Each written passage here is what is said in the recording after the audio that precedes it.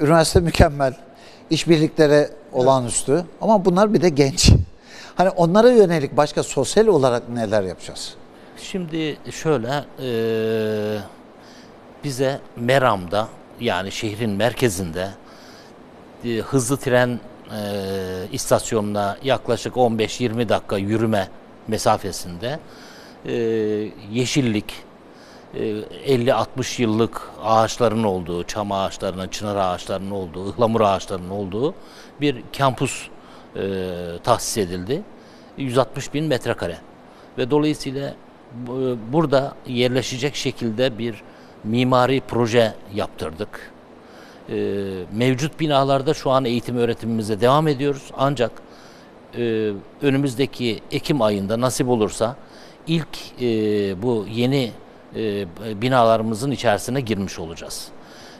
İlkini tamamlamak üzereyiz ve dolayısıyla yaklaşık 30 bin metrekare kapalı alanı var. İçerisinde jimnastik, jim salonları var, kafeteryası var, e, büyük laboratuvarları var, Hobi araştırma laboratuvarları var, hobi sahaları var, kulüp odaları var. Yani son Amerika'da, Avrupa'da, ben de Amerika tecrübem var.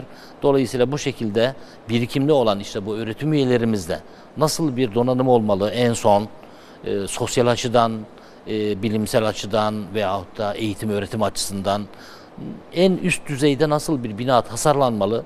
E, yaklaşık 3 yıldır bunu didik didik, e, milim milim ölçerek tasarladık. İnşallah Ekim ayında yeni öğrencilerimizle beraber bu binaya girmiş olacağız. Ve dolayısıyla sosyal alanlar açısından veyahut da kafeteryasına kadar büyük e, e, konferans salonları dahil e, hizmetimizde olacak. Ve hassas bir nokta daha var Sayın Başkanım. Lisans bazında dünya standartlarında belki hani o standartların da üstünde bir yaklaşım olacak. Bu belli. Ama hani e, e, mesleki e, eğitim dediğimiz iki yıllık ara insan gücü, esasında ana insan gücü bu da son derece önemli. Evet bir tarafta çiftçimiz var, bir tarafta uygulayacağımız bir alan var, bir tarafta da mühendislerimiz var. Ama bir de arada teknik e, şeyin olması lazım. Bu konuda da bir e, çalışmamız, yatırımımız var mı? Var. Şöyle, biz esasında e, YÖK'e sunduğumuz dosyada da fiziken yer aldığı gibi uygulamadan bahsetmiş olacağım. Yani düşünceden bahsetmeyeceğim. Biz iki yıllık meslek yüksek okulları ara eleman yani tekniker eleman açığını kapatacak çalışmaları içeren de bir araştırma yaptık. Bu araştırmada iki yıllık meslek yüksek okullarının e, sınıflamasını yaptık. Yani bu nalbantlıktan e, şeye kadar, e, bahçıvanlığa kadar. Yani Türkiye'de açık nerelerde var, ne kadar açık var ve nasıl bir sistem kurmamız lazım. Takdir edersiniz ki düşünmek, eksiği bulmak ayrı bir olay, bu eksiği çözecek altyapıyı kurmak ayrı bir olay. Bu altyapıyı işletecek öğretici ve eğitici altyapısında bu donanıma sahip e, insan sermayeniz yeterli mi? Yani siz uluslararası projelerin içine gireceksiniz. Uluslararası aktörle beraber dünya projelerinin içine gireceksiniz. Teknik tekniker altyapınız, teknisyen altyapınız bunlarla oturup yabancı dille anlaşabilecek potansiyelde değil. Ama Türkiye'de takdir edersiniz ki bu potansiyelde öğrenci teknik yani iki, iki yıllık altyapıya soyunmuyor. Evet. Buraya insan çekmenin yolunu badireli olduğunu görüyorsunuz. Buraya alacağınız insanın kullanılacağı alanlarda cazibe olma ihtimali sadece sizin bu fabrikalarda istihdam etmek üzere adam yetiştirmenizle de irtibatta değil.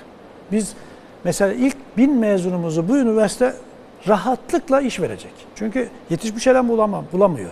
Yani Konya Şeker'in, Recep Bey'in başkanı olduğu bu sistemin ihtiyaç duyduğu tek, üst seviye bilimsel altyapıdan ihtiyaç duyulan sayı ilk bin mezunumuzu istihdam edecek durumda. Peki bütün bunları yapabilmek için bir de eğitim modeli lazım. Evet.